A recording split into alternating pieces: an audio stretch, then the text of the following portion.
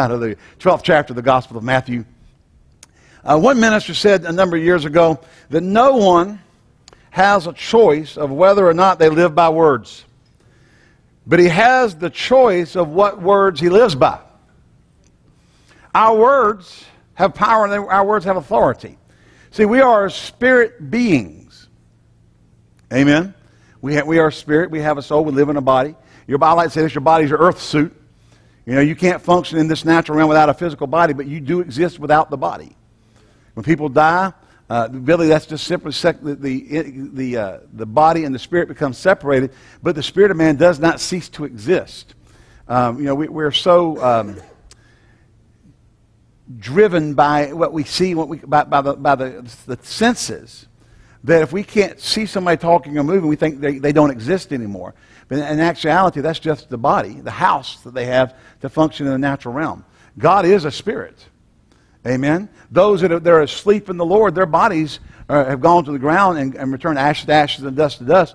But their spirit, if you're born again, you go to be with the Lord. Paul said to depart with, uh, to, to, to be, depart and be with Christ is far better. To be absent from the body is to be present with the Lord.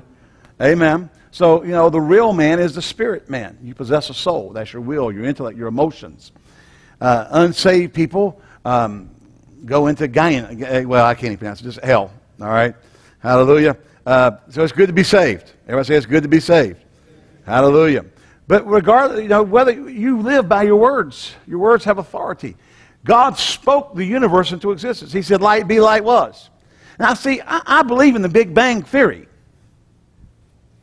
And some of you go, well, that's, that's evolutionist. No. God, was, God went, light be, light was. The Big Bang.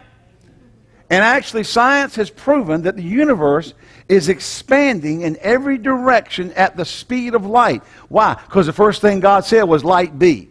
And He never told it to stop. It's still obeying God. The universe is still acting in obedience to the statement God made, light be. That's awesome. It's still expanding at the speed of light in every direction. Isn't that cool? See? See, well, science knows this. Let me tell you something. When science thought the world was flat, the Bible said it was round. Did you know that? The Bible says that God wrote on the circumference of the earth. How many know what a circumference is? It's what? A circumference. I, am Eastern Carolina. We say stuff the way we want to say it. it's round. God was riding on the round earth when the scientists said if you fly, go, go out too far, you'll fall off. God knows what he's, God knows before anybody else knows. Amen? All right. So let's go here. Uh, words are what we live by. Let's go to Matthew chapter 12. We'll look at verses 36 and 37. Jesus talking here. Matthew 12, 36. We could really back up to verse 35. A good man out of the good treasure of his heart bringeth forth good things, and an evil man out of the evil treasure bringeth forth evil things. Now, what we say, garbage in, garbage out, what you put in is what comes out. You do not get something different than what you put in.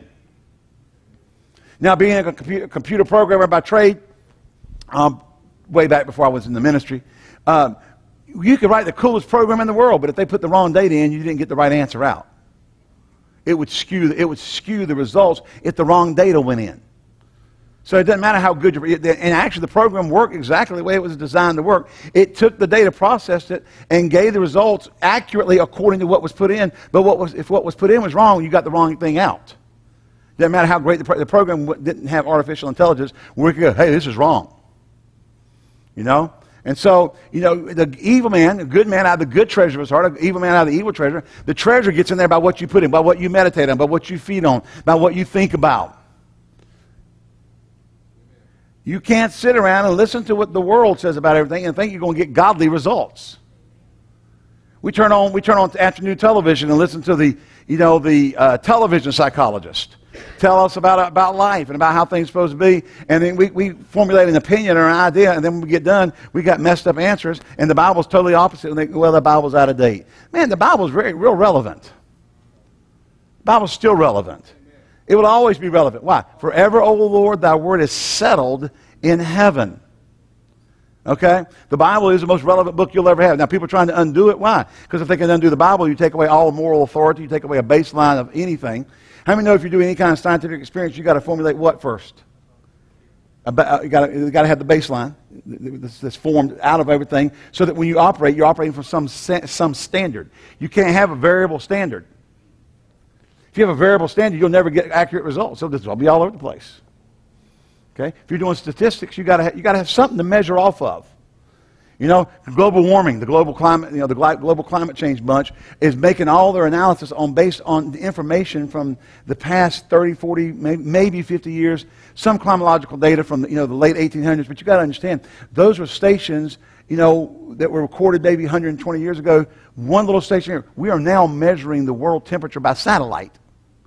And it's kind of hard to put those two together and say that they're accurate representations against each other. So you create weird baselines. You know, how many know, uh, how many remember this one? 20 years ago, they said that if we didn't stop the greenhouse gases, the planet was going to heat up, the polar ice caps were going to melt. And then about, about five years ago, they came out and said it, said it didn't happen. It's not happening. The planet's not heating up. The things aren't melting. Well, the global, the, the, the greenhouse gases are blocking the sun's rays. Now, it was the, the gases were going to cause it to heat up. Now they're blocking the sun's rays and causing global cooling. Well, good. Let's put more up there because we don't want to heat up and melt. See, if you don't have an accurate baseline to work from, you're not going to get accurate results. Now, same thing's true in the Word of God. You've got to have the accurate baseline of what the Word says in your life to create uh, something to measure from and to base from and to walk from and to live from. In other words, God's, wor- God's Word, God's law has to, be God's, has to be the final authority of your life by which you live by. And that is where you get the right words from. You have to begin to agree with what God says, not, but what, not what you feel or how it looks. You know, we cannot be driven by our senses. We have to be driven by our faith in what God said. All right. Jesus says, here goes on verse 36 and says, I say to you that every idle word, useless or lazy word in the Greek, um, that men shall speak, they shall give an account of thereof in the day of judgment. For by thy words thou shalt be justified, and by thy words thou shalt be condemned. In other words, you set blessing or cursing into your life by what you say. Now, under, now we're going to take a premise here. We're going to establish a premise. We're presuming we're talking to Christians who are born again by the Spirit of God, they're children of God. And that the Word of God is now your baseline. You will have blessing, uh, and really the world works this way too, but you, you can't walk in the blessings of God if you're not born again. So we're not just talking about mind over matter, the power of positive thinking. Okay, we're talking about people who are speaking out of the recreate out of the spirit, out of the spirit, what they either have or what they want. Let me tell you say something. If you keep saying what you got, that's what you're going to keep. You keep saying what you got, you're going. That's what you're going to keep. You cannot change your future until you change what you say. Proverbs 6 2 says, Thou art snared by the words of thy mouth, thou art taken by the words of thy mouth. Proverbs 21 23, Whoso keepeth his mouth and his tongue keepeth his soul from troubles. All right. Let's go on down to Proverbs 18. This is a good one. 18 verses 20 through 21. A man's belly shall be satisfied with the fruit of his mouth, and with the increase of his lips he shall be filled. Death and life are in the power of the tongue, and they that love us shall eat the fruit thereof. Now, we've used that scripture time and time again, but the today's English version, it has a very good translation it, excellent translation of this. It says, you, have, you will have to live with the consequences. Proverbs 18, 20, and 21. You will have to live with the consequences of everything you say. You, well, I'm sorry, what you say can preserve life or destroy it, so you must accept the consequences of your words. The words you speak have consequences. You speak death and destruction, you're going to get death and destruction. You speak life and blessing, you'll get life and blessing. Well, where do we speak life and blessing? Well, you say what God's word says. Do you know the word confess? Uh, we, we talk about confession a lot. The, conf- the word confess the, uh, means to, to say the same thing as. To speak the same thing. Same thing as what? As what God says. When we confess His word, we're speaking what God says. Amen. Amen. Now, how many have ever gone, you know, man, I'm, I'm so sick I could die? But the Bible says by His stripes you were healed. Now, you keep speaking, I'm so sick I could die, and guess what you're going to be doing? looking down from heaven at Pastor Ed doing your funeral. See, you need to say what the Bible says. By whose stripes ye were healed. 1 Peter 2.24. Whose own self bare our sins in his body on the tree, that we being dead to sin should live unto righteousness, by whose stripes ye were healed. And somebody will come along and go, that's talking about spiritual sickness of sin. That's not what Matthew, I mean, Mark, I mean, Isaiah 53, uh, verses 5 and 6 say. It's not what Matthew 8, 16 and 17 say. And Matthew 8, uh, uh, Matthew 8, 16, 17 says, Then when the evening came, he, they brought on them that were sick and possessed with devils, and he cast out the spirits and healed the sick with his word, that it might be fulfilled without spoken by the prophet Isaiah. Himself took our infirmities and bare our sicknesses. Then 1 Peter 2.24 quotes that in fulfillment as a fulfilled prophecy, saying, By his stripes ye were healed. You can't take the Bible and read the Bible and come out with it being spiritual. Sin is spiritual, sickness is physical. If you are physically sick, there is a cure for you, but you're going to have to say what God's Word says about it. I said, You're going to say what God's Word says about it. You're going to have to put in your mouth what the Bible says about your circumstance or your situation. Hello? We, we, we are so negative in society. Think of our, our, of our catchphrases. Everything, you know, that tickled me to death. Oh, I laughed so hard I thought I'd die. Yeah, that just kills me. That's good. How negative is our language? But the Bible's full of positive language. You're blessed coming in and blessed going out. You're the head, not the tail, above only, not beneath. Glory to God. You'll be blessed when you rise up, blessed when you lie down. Are you here? According to that, if you keep His word. But the Bible's full of positive language. Amen. Amen. Thanks be unto God, which always causes us to triumph through Jesus Christ our Lord. We've been made more than conquerors through him that loved us. Glory to God. What can separate us from the love of God? This is the victory that overcomes the world, even our faith. Full of faith, full of life, full of blessing. But the world's full of death. We celebrate walking zombies for crying out loud. People want to watch The Walking Dead. And you can't kill the dead. Is there a way to kill them? Might know. Cut their heads off or something? Cut their heads off. Ben? Anything, anything where the head's removed. Or burn them. So there's three ways to kill the walking zombies. You know, we, we celebrate now. Now the, the big thing is vampires. You got vampires and werewolves. You know, six movie series on were, werewolves and vampires. You know, we're celebrating death. You know, can't kill the vampire. You know, except get him in sunlight. Except if he gets now they got new drugs that keep him alive in the sun. I don't know. Some of y'all remember the, the, the, soap opera from the 60s and 70s, Dark Shadows with Barnabas, the vampire. You know, and Barnabas couldn't be killed. You know, they, they figured out a way to keep him alive during the daylight. You know, we celebrate, our, our language is a language of death in the world. Because the world lives in the fear of death. But the believer, Dad Hagin used to say this. He would say, You're not ready to live until you're ready to die. How do you get ready to die? You get saved. Then you're ready to die so you can live. You don't have to be afraid of death. Paul wrote and said, Oh, grave, where is thy victory? Oh, death, where is thy sting? Amen. So we, we need to understand that our words have authority and power, and we need to be speaking the life that God's word has instead of the death that the world's offering unto us. We need to speak things full of life. So you'll live with the consequences of everything you say. A number of years ago, a man was in a car wreck with his family, and, and, and he was thrown out, and the family's there, and the, uh, the rescue squads and the rescue crews were there working on his family, and they looked like they were about dead. He's up walking around. But they, they, everybody, everybody at the scene heard him walk around saying this My God, I'm a dead man. My God, I'm a dead man. My God, I'm a dead man. Every one of his family lived, and he died. Why? He's called it into existence. Elvis, how many remember Elvis? Elvis is not alive. If you saw, if you saw Elvis, it was an impersonator, and there's plenty of them. Yeah, yeah. Uh, and he said uh, all the time, uh, you know, Elvis would say, I'll never live to past the age of my mother. He died the same age as his mother died. And J.D. Sumner, the J.D. Sumner and the Stamps, which was the back, the, you know, they had a gospel group sing backup with him. J.D. Sumner and the Stamps, a gospel quartet. And he said, if he said it once, he said it a thousand times. He heard him say it over and over again, but he would never live past the age of his mother. Died the same age his mother died. Why? He called it. He spoke it. He declared it. He called it into existence. Your words have authority. And I tell you, if you want a future, you got to speak a good future. If you want blessings, you got to speak blessing. If you want more than enough, you got to speak more than enough. Are you here? You go home. All right. James says, um, well, I'm sorry, Proverbs 18, 7, back up seven verses of that same chapter says, A fool's mouth is his destruction, and his lips are a snare of his soul. Man, let's not be foolish. Let's be smart. Let's be wise Christians. Amen.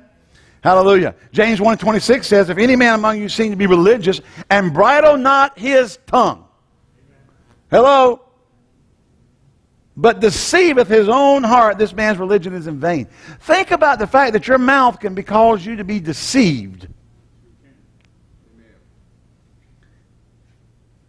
Deceived to the point you believe what the world and the circumstances say versus what the Word of God says.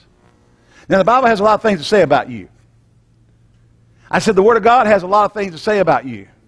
One place it says you are a chosen generation, a royal priesthood. Amen? Glory to God. That you should show forth the praises of Him that brought you out of darkness into His marvelous light. A holy nation. I'm sorry, I, I have to look at that third thing. A holy nation. How many ever felt like a royal priesthood? How many feel like, you know, you're the peons of the priesthood? One verse says he's made us king. Now, King James says this made us kings and priests unto our God. The literal Greek says he's made us a kingdom of priests unto our God. But you don't get up in the morning. Most people don't get up in the morning going, I'm, a, I'm part of the kingdom of priests. You might be getting up and going, My God, Jesus, are you anywhere around? He said he'll never leave you or forsake you. We ask if he's even around. Yeah, start, start singing Kumbaya, my Lord. Kumbaya. Come by here, my Lord. Come by here. He said he'd never leave you or forsake you. He's a friend that sticks closer than a brother. See, we got to see what the Bible says about things. If God always causes us to triumph through Jesus Christ our Lord, why do we keep talking like we're going under? Because you've chosen to accept your information and deposits into your heart from the wrong place. Paul wrote to the church at Corinth and said to bring into captivity every thought to the obedience of Christ, casting down imaginations that exalt themselves against the knowledge of God. Amen. Isn't that what he said? Why did he say that? Because those thoughts will drop into your heart. And then out of that treasure of your heart, whether good or evil, you'll bring it forth and you'll start speaking it. And what you speak, you're going to have to live by the consequences of the words you declare. We just read that out of the 20th English, 20th, uh, the, uh, the today's English version. Amen? Well, can y'all say something? Amen. Hallelujah. I'm looking for verse chapter 10. Paul writes in 2 Corinthians chapter 10, verse 3. He says, For we walk in the flesh, we do not war after the flesh. For the weapons of our warfare are not carnal. Let me say something, folks. If you're trying to win your battles with carnal means, you're going to lose. Satan will destroy you. Satan will be your master in that arena. But see, the weapons of our warfare are not carnal. So stop trying to do it in the flesh and get into the spirit. Glory to God. Can you say amen? They're not carnal, but mighty through God to the pulling down of strongholds casting down imaginations and every high thing that exalteth itself against the knowledge of God. What's exalting itself against the knowledge of God? You're not going to make it. You're not good enough. You don't have the ability. Really? You can't do this. The Bible says, I can do all things through Christ, which strengtheneth me. See, the world speaks, and the negative thoughts of the enemy come and say, You can't do this. But God's already given a declaration. You can do all things through Christ, which strengthens you. Christ, the anointed one of his anointing. What's the anointing with? Well, according to the book of Isaiah, the anointing is the yoke destroying, burden removing power of God. You can overcome. This is the victory that overcometh the world, even our faith. I'll never make it. I'll never win. I won't get over the top. Man, you stop. You stop being like that little train saying, "I think I can. I think I can. I think I can," and you start being a Holy Ghost train saying, "I know I can. I know I can. I know I can." Thank you, Jeff. We now have surround sound. Jeff gave in the chugga chugga sound effect. Hallelujah. Now, if, we, if we're going to speak, remember, we, we, we live by the words we speak. We suffer the consequences or relish in the consequences of the things we speak. And if you don't like what you're suffering in, change what you're saying. Put on a different mouth. How am I going to put on a different mouth? By putting in different stuff in the inside of you. Start saying I can't make it. Start saying that I'm more than a conqueror through him that loved me. Start saying that I overcome in every circumstance of life through Jesus Christ my Lord. Start saying that I got victory because the faith of God that's in me causes me to overcome. Glory to God. Hallelujah. Greater is he that's in me than he that's in the world. Amen. I'm an overcomer. When they show that ABC sports Wild World of Sports film clip. Remember that old one where the guy broke his leg coming off the. Uh, off, yeah, you know, the thrill of victory and the agony of defeat. We don't know the agony of defeat. We only know the thrill of victory and the thrill of victory and the thrill of victory. Glory to God. Because we're conquerors through Jesus Christ our Lord. Glory to God. We need to be saying what the Bible says and stop saying what we see and what we feel. Satan is, t- is deceiving you casting down imaginations that exalt themselves against the knowledge of God. Hallelujah. I'm going to shorten this. Hallelujah. Go to Numbers, the 13th chapter. Y'all all know about this story. You should, I mean, you should at least learn this in Bible school, Sunday school. Numbers 13. They're about to cross over into Canaan land. And, the, and God says, to, you know, choose somebody from each tribe and send them into the land to spy out the land. So Joshua gets them all together. remember, Moses can't go in. How many know why Moses couldn't go into the promised land? Because he struck the rock twice. See? God gave him the water, but see, you see, he, had, he could not let Moses go in because the symbolism of striking the rock was the rock was Christ, and he was only struck once. He never was to be struck again. His, his sacrifice was enough one time. That's why Moses couldn't go in. It had to be the allegory, it had to be the lesson that they learned that when God struck Christ for our sin and laid on him the sin of us all and the sickness of us all, he was only struck once, whereas Moses struck the rock twice. And had Moses been allowed to go in, people would have misinterpreted that and began to say, "You got to get you, Christ has to die over and over again." But he only had to die once to obtain an eternal redemption for us. That's why, that's why he couldn't go in. Well, that's a little harsh. No, you know you got pinheads out here right now who'd be teaching that if he got in. They'd be teaching stuff that's not biblical. And they already are, that's right. Even, when, even though God showed up and said, no.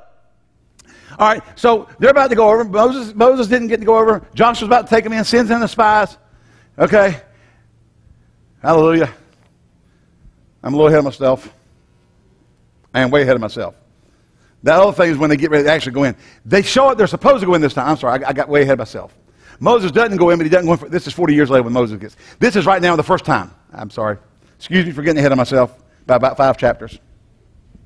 They show up to go in, send in the spies. Then the spies come back, they bring up a report. All right? So let's look here in uh, verse 26. Verse 25. And they came, they returned to land from search land after 40 days. I'm, uh, the, have y'all got the story straight? I'm, I got the story straight. Have y'all got it straight? This isn't where Moses doesn't get to go in yet. Moses is about to go in, but he doesn't get to go in. Later. 40 years later. They went and came to Moses and to Aaron and all the congregation of the children of Israel into the wilderness of Paran and Kadesh and brought back word unto them and showed them all the congregation the fruit of the land and told them, We came unto the land where thou sinnest, and surely it floweth with milk and honey. Remember, God told them he would bring them into a land that floweth with milk and honey. Folks, the Bible teaches us that the Old Testament scriptures are written in the things particularly pertaining to Israel and their wanderings and their dealings with God were written as examples to us. God told them that when He delivered them, He was going to bring them into a land that floweth with milk and honey. Can I tell you something? God knew there were giants there. Hello? You may have got a promise from God and show up and run into a giant. God didn't get caught off guard. God wasn't surprised. God didn't go, oh man, I didn't know that. Hello? I mean, God didn't go, Jesus, come here, we got to have a conference with the Holy Ghost. Did you guys know that there were giants over there? God wasn't caught off guard. He just didn't give them all the information. Why? If he had told them up front there were giants there, they would have booked. Amen. Hello? Clunk went the cow. okay. Hey, yeah, if God told you everything you were going to encounter, most Christians, in your walk of overcoming and winning by faith and defeating the enemy, you'd quit. Say, take me home right now. That's it's called. We walk by faith and not by sight. So he said, I'm bringing you to a land that flows with milk and honey. They come back, hey man, it's just like he said. It flows with milk and honey. And this is the fruit of it. Remember, they brought out a cluster of grapes on a staff. Now, I want y'all to go to Food Lion or Lowe's or Harris Teeter this afternoon and sit outside in your car. And I want you to watch for a couple hours. And I want you to see if anybody walks out. Two men walk out with a cluster of grapes on a staff. Now, some 98 year old grandma's walking out with a little bag of them. Why? This land was so fertile and so productive that everything grew like super grow. It had Miracle-Gro before Miracle-Gro was on your grocery store shelf. Hello? Why? Because because it was a land that, that, that flowed with milk and honey. It was the land God had promised his people. And it was blessed. And so here they go. Hey, just like he said it flows with milk and honey, here's the grace. Look at this. This is awesome. Then three, then a three, three words put together, creating the word nevertheless. That is old fashioned, long way of saying, but. Hello? The people be strong in the land. God didn't know there were strong people there. And the cities are walled. Ooh. That just that, that's that God's out of the picture now. They got walled cities. And moreover, we saw the children of Anak. That's giants. There. The Amalekites dwell in the south. The Hittites and the Jebusites and the Amorites dwell in the mountains. The Canaanites dwell by the sea. And the houses have the termites. Oh, no, that's not in there, is it? Okay. By the coast of Jordan. Now, here they start coming up with all the problems of the land. God did not say, go check it out and find out what you can't deal with. It's what he told him it was. It was a land that flowed with milk and honey. Do you not think God already had a contingency plan for the people in the land? Do you think that what you came up against when you were starting to follow after God, this you need to get, we need to get back to understanding. God's brought you to a certain place and you've run into a hard place. Don't you know that God had a contingency plan to deal with what you ran up against? Amen. Amen. He knows everything. He didn't bring you there to cause you to fail. Just like later on when the children of Israel say, Would to God we were back in Egypt. He brought us in this wilderness to kill us. He didn't bring them in the wilderness to kill them. As a matter of fact, if they kept their mouth shut, they wouldn't have been in the wilderness in the first place. The only reason they went into the wilderness is because they had, they, they, had uh, they needed lockjaw. They didn't have lockjaw. We'll find out what happens here. And Caleb stilled the people before Moses and said, Let us go up at once. See, somebody got some faith. Let us go up at once and possess it, for we are well able to overcome it. Why? If God be for us, who can be against us?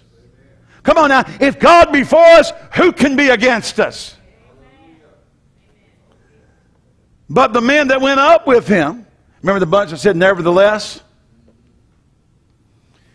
You can't go by what the crowd says. Then we find out from here that 10 of the spies were the nevertheless bunch. Caleb and Joshua were the let us go up at once bunch. They were outnumbered five to one. And when you start walking by faith, you're going to find out you're going to be outnumbered a lot of time by the naysayers. The naysayers have a negative report. Even when you start speaking the Bible, we're well able to go and possess it. If our God is for us, who can be against us? But the men that went up with him said, We be not able to go up against the people, for they are stronger than we. Wait a second! You mean the God that delivered you with the, with the, uh, the, uh, the, the, the, frogs and the lice and the hail falling from heaven and the firstborn dying and the rivers turning to blood, the God that brought you out with a strong arm. I, I mean, are you here? The God that drowned the entire Egyptian army, hallelujah, in the, in the depths of the sea. And they started singing, I will sing unto the Lord, for he has triumphed gloriously. The horse and the rider are thrown thrown into the sea. And now you run up and you got some strong people on the other side and you're going to start whining. See, Caleb and Joshua understood that if God be for us, who can be against us? And when they faced that battle and they saw those men, they said they might be stronger than us, but our God's bigger. And so us and God are the majority. Glory to God. We got to get back to where God and us are the majority. And your brothers and sisters in Christ might be weenies. They might be faith weenies. But you can be strong in faith.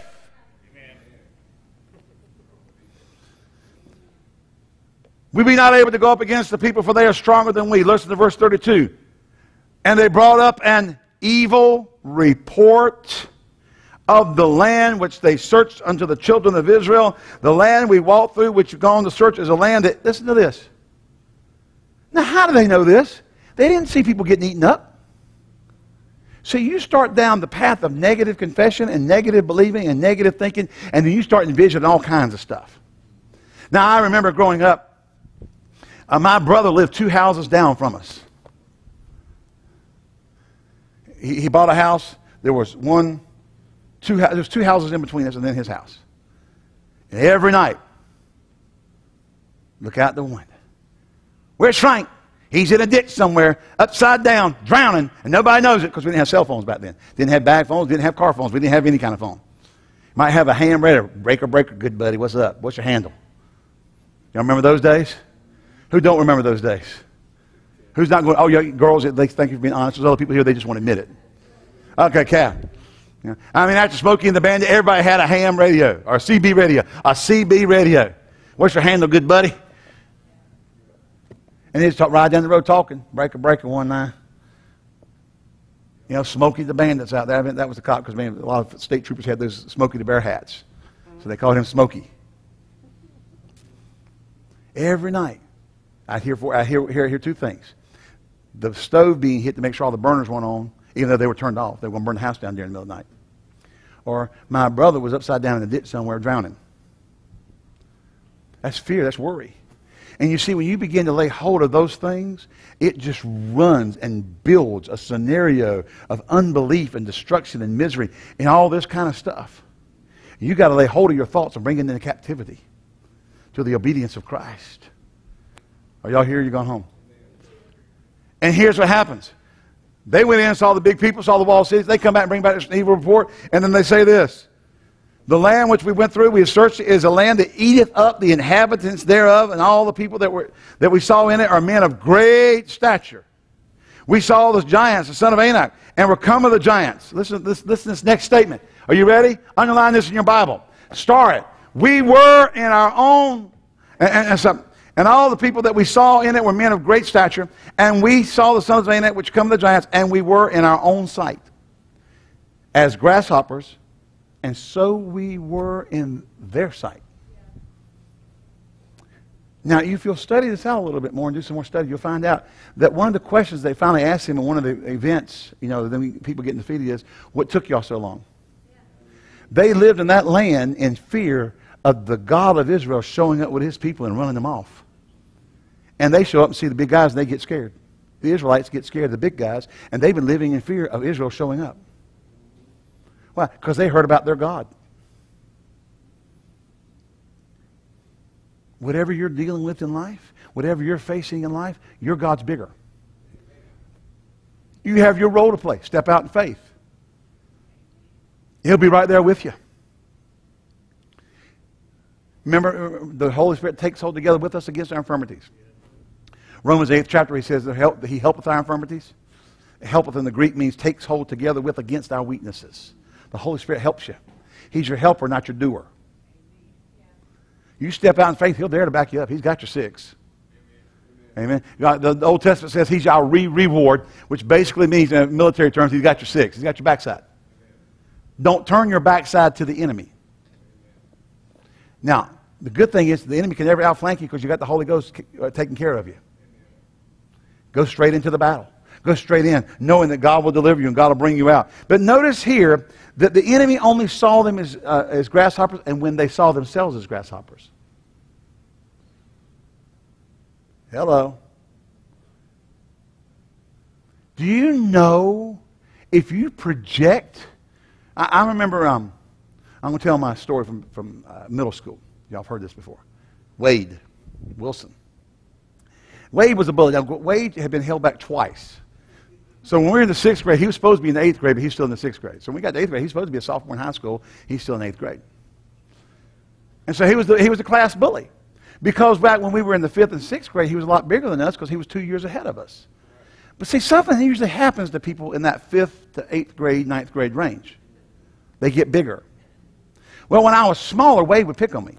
He would tell me what to do, I would do. I mean, whatever he told me to do, I just did it. Because Wade was, yeah, he was bigger. And you, you get to the eighth grade and you still think you're the same size you were in the fifth. And don't realize you've grown, he hasn't. I mean, that's just that's how it is. And that's how the devil works. Do you know the Bible says something very interesting? When we sit in heaven and watch him cast into the pit, the Bible says we will, we will ask this question Is this he who calls the nations to tremble? He's like a little Wizard of Oz with his big machine trying to scare everybody. And so one day at school, Wade came up to me and he, you know, and went back in my day, you know, I mean, the, the mean thing to do was take a rubber band with a paper clip on it, make, and, and, and, and just pull it back and, and, whack you with it. So he, he comes and says, turn around. and you know, you, you got, you're going to have to get fed up with being bullied by the devil. I said, I'm not going to do it. He said, turn around. I'm not. I'm drawing, you got you to draw a line in the sand with the devil. You got to make a stand in your faith. You got to make a stand with the Word of God. He said, after school, right after school, meet me. I'm going I'm to take care of this. All right. I was, man, I just I sat there all day thinking. But the, the more I sat there, the madder I got. I've been, put, I've been putting up with this for three years, and I'm tired of it. I've had it. You know, and I tell you, you got to build yourself up in faith so that when the devil shows up, you're just ready to knock his block off. You're a Rock 'Em Sock 'Em Robot. Remember those? Boom! Clink. All right. Hallelujah. Well, that was high tech gaming back then, buddy. And so I, I went outside, and our school was a two story school with steps, no elevator. We didn't have escalators or elevators in our school. We didn't have all kinds of laws that you had to do that just because somebody, you know, one person might not be able to make it up. You know, people, people, you know, toughen up. Walk up a pair of steps. If you can't get up, we'll get you up there. Pick up and carry you up. Get tough. Toughen up. Everybody get tough. Amen? We got to be tougher. We, we have got to stop being wimpy in life. And so I'm, I'm, I'm outside the school. I get, I get there early. I'm ready. And here he comes. He walks down the steps, and I drop my books, throw my cutoff, and I start running. I got my fist cocked. I'm going to KO him. And he starts going, whoa, whoa, whoa, stop, stop, stop. Then I realized, oh, He's scared of me.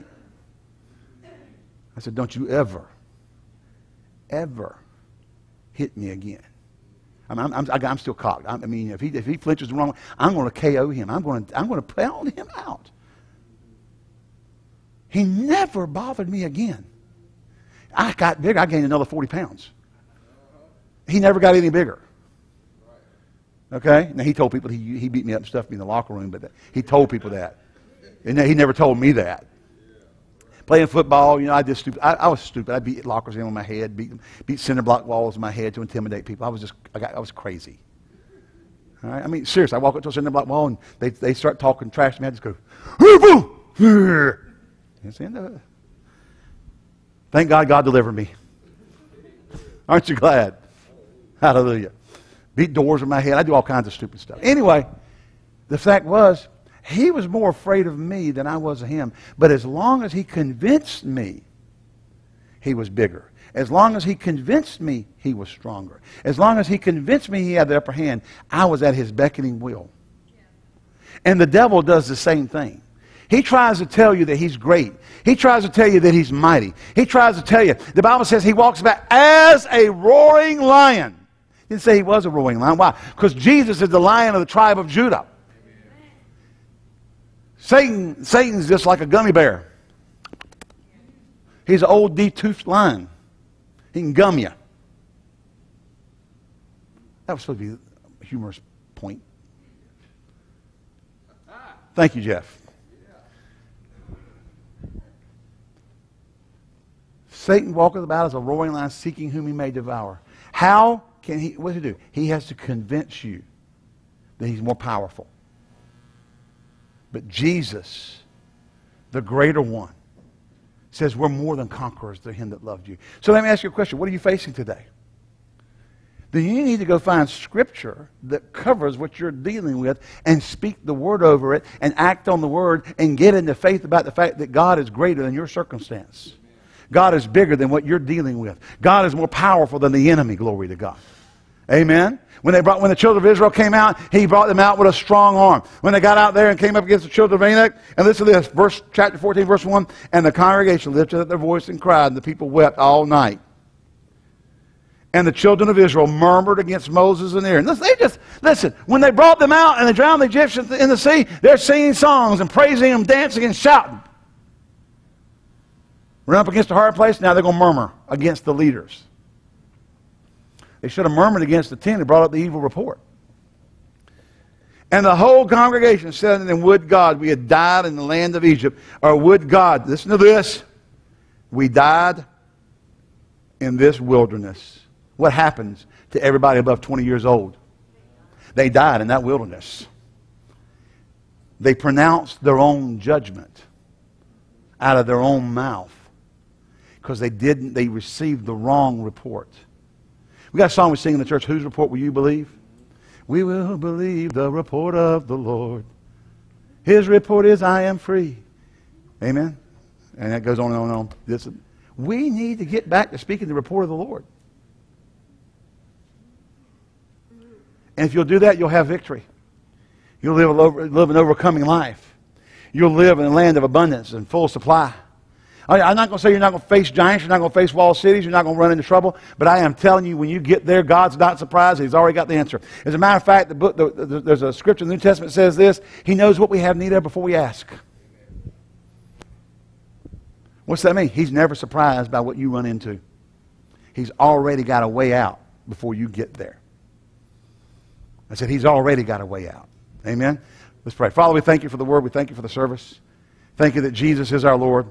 Thank that you direct us into the land of blessing, land of full supply, overcoming, and victory through the words that we speak. And you give us the very words to speak. You said, Our ways not your ways, and our thoughts not your thoughts. And that your word is to be in our mouth. If we put your word in our mouth and speak the word, it will produce what you said it would produce in our life in Jesus' name. If you're in an attitude of prayer, heads bowed, eyes closed, I want to give you this opportunity this morning. If you're not born again, now, again, you know, the new birth is, is coming into the Lord Jesus Christ, accepting the lordship of Jesus. Paul wrote to the church and said, if you believe that, God, that Jesus is the Son of God, God raised him from the dead. Amen? And confess him as Lord. If you believe that he's the Son of God, but raised from the dead, and that you confess him as Lord, you'll be saved. We're not asking, you don't have to come up here and recant every sin you ever committed in your life. It's simply accepting Jesus Christ as your Lord. Confession of sin comes after, when you're a believer, if you mess up afterwards, you just confess that sin. The new birth is acknowledgement that you're lost without God. You believe that God is, Jesus is God's Son. He raised him from the dead, and you declare his lordship over your life. You come into the family of God. You're born of, born of the Spirit of God. If you're here this morning, you're not born again, would you raise your hand? I want to pray with you. Lead you in a prayer that'll bring you into the family of God. You can know, the, you can know this life of victory. You can know the ways of God and the ways of the Spirit. Another offer I have for you if you're backslidden, that, we, that's not real hard to figure out. You were going forward, you went backwards. You were walking with God, you went the wrong way, you went backwards. If you're here this morning, you're backslidden, you want to get right with God, raise your hand, I pray with you. All right, thank you. I see that hand. All right. Anyone else? God is a good God. God's a merciful God. Amen. God is a restoring God. You know, when we, we're in the church, we teach we shouldn't do things, we shouldn't sin. That's to help us not get there. But if we get there, God's there to help us out because He loves us. Even in our failures, He loves us. And He does not change His love for us. And let me say this once He cleanses and once He forgives and once He restores, that is it. It's a done deal with God. Amen.